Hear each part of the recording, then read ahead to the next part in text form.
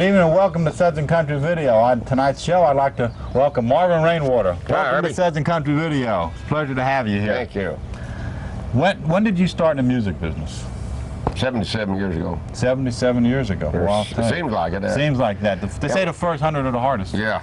After that, it's downhill. Huh? I uh, got into business in uh, 1955 when I got on Arthur Godfrey show.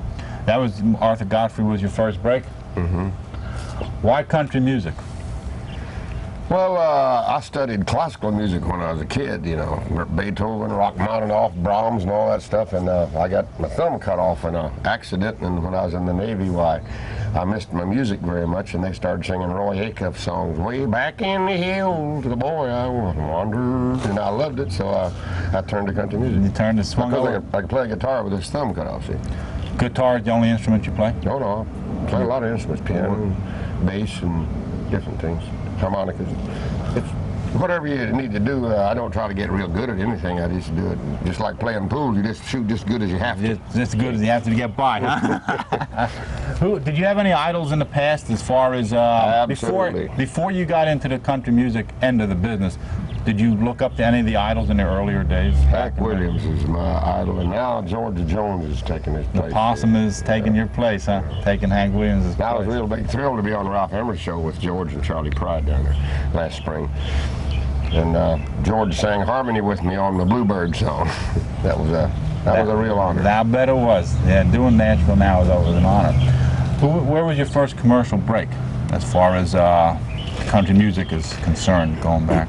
My brother got me on Red Foley show down in uh, Springfield, Missouri for a guest shot, and from there uh, it opened up to Arthur Godfrey's, and then when I did that, they took me as a regular back on Red Foley's. It all worked together. Red Foley was quite of uh, influence.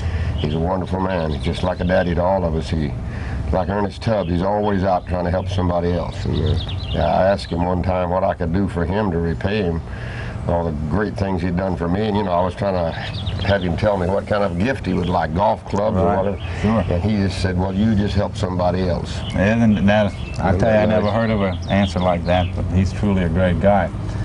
Uh, was country music, uh, was music, the music business always what you wanted? What did you do other than music?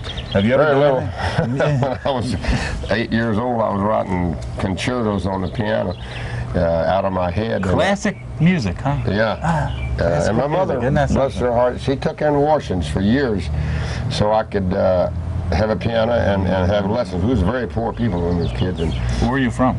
Kansas and Oklahoma. And uh, Dad worked hard, but we didn't have any money. It was during the Depression. Sure. And uh, she took in these washings for a whole uh, Juilliard School of Music there so I could have my lessons and everything. And she wanted me to be a concert pianist. And I was running up and down playing uh, all that crazy Flight of the Bumblebee and all that stuff, you know. Are you happy you changed over to country music? Yes, uh, I am because there's uh, there's very limited uh, scope in, in classical music. Uh, you have to have sponsors and all that. And in country music, uh, I mean, you got a world out there. It's just the whole world's open to you. What song brought you to national fame? Well, you won't believe it, but this little song, "I Gotta Go Get My Baby," that Teresa Brewer and Justin Tubb recorded. I don't Uh, remember that one. that I re- it was one of the first ones I ever recorded, and I, that's the one that won Arthur Godfrey show for me. It Was that little song? What year was Arthur Godfrey again? 1955. 55. And what came followed after that song? Oh, then I had uh, several. I was gonna find me a bluebird was good, real good. for That was probably the most, is that the most popular song out of all the songs you recorded? I think so, and uh, uh, maybe not worldwide. Uh, uh, we had a version of Running Bear long back when Johnny Preston had it, and uh, then I had a song called Whole Lot of Woman, which they banned in this country because I said she's a whole lot of woman. She got to have a whole lot of man. They thought that was dirty, so they banned it. How many years ago was that? And that was 1958, and it went to number one in Africa and all over the continent, and in. England for six weeks as number one.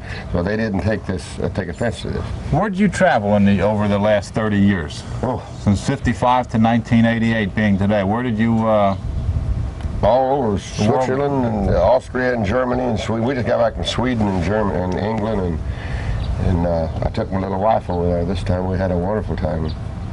where is country music most received? Has it, has the Europeans and the Africans and everywhere you've been, have they received country music as well as the folks in the U.S.?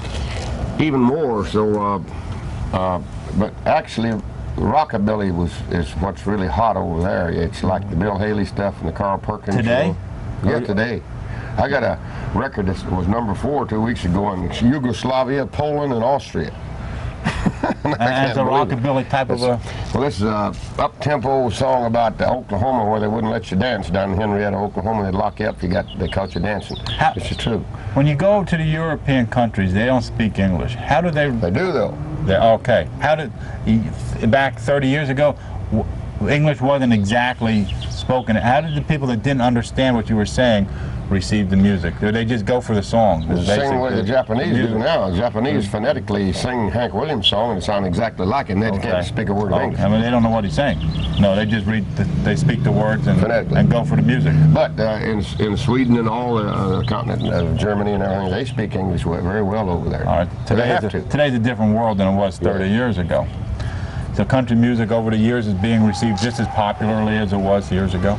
It's it's really getting strong everywhere. They love American music and uh, uh, the American artists, and uh, they're touring all the time. I, I expect somebody over in Rotterdam to have one of the world's largest festivals one of these days. And uh, Country Music Festival. Mm-hmm. but the way in England they have uh, the Wembley Festival. They've had that 10 or 12 times. I was on that once, and uh, when Lefty Frizzell died, that I took his place. And this holds about 15,000 people and the Wembley uh, arena there where they do the, the tennis Right. matches and everything. And this is a big thing every year in England. It's just huge. They bring artists over from the States, and it's really a smashing No success every that's year. England, huh? Mhm. Consider that. Do you write songs? Oh, most all of them. Yeah. Most of the songs. Did you write Bluebird? I only got eight lines in it. I couldn't think of another verse. any songs? Any songs that you wrote reflect any personal experiences? All of them do. Uh, How do you come up with ideas? do you live them? Oh, you live them. Okay. Yeah, and like- you you take an idea out of life and just and work a circle around it, so to speak. And I'm always uh, uh, open. I've got my ears open all the time for uh, for uh, an expression that will be a song. A song. Now, you, is that a hook to get the song going? I would think so. Uh, the- if you can get in a good expression that will be the title and the basic theme of a song, you've got yourself a good hook. Okay, that's that's what I was told. You need a, sometimes you need a hook to get the the motion moving. And if it's bad enough, they got a hook to pull you off the stage.